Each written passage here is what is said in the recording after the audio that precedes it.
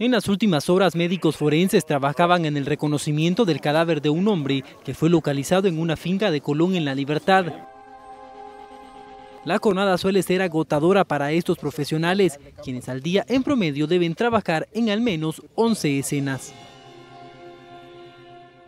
Es sacrificado en lo que se refiere a salud mental, en lo que se refiere a trabajo, porque a veces están en barrancos, en ríos, hay que pasar ríos, hay que pasar, subir cuestas, bajar cuestas, pero se hace con gusto, primero porque es lo que nosotros escogimos y segundo porque se trata de servir a los demás.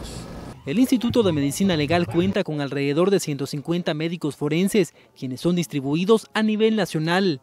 Estos médicos señalan que muchas veces su trabajo se torna una odisea. Ya en el lugar eh, podemos sufrir riesgo, como los lugares, como les he mencionado, son de difícil acceso, eh, fácilmente pueden haber caídas, pueden haber golpes, eh, también estamos expuestos a picaduras de, de, animales, de serpientes, porque nos toca trabajar en lugares eh, con mucha vegetación. Sumado a eso, confirman que en algunas ocasiones son víctimas del acoso de las pandillas mientras realizan su labor. Pero nosotros andamos solos, solo anda el motorista, el auxiliar de autopsias y el médico forense. No importa dónde vayamos, solo Dios con nosotros en algunas partes, algunas personas que integran pandillas piden renta para hacer nuestro trabajo.